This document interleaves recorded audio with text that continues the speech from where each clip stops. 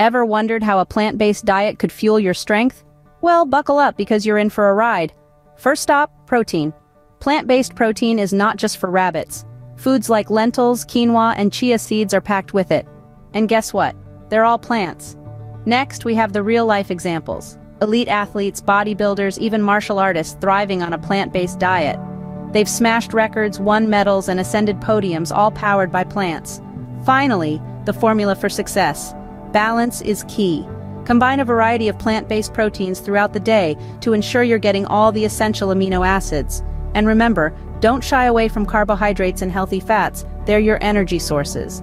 So whether you're looking to build muscle, enhance performance, or simply feel healthier, a plant-based diet could be your ticket to strength. Consider this your invitation to join the plant-powered revolution.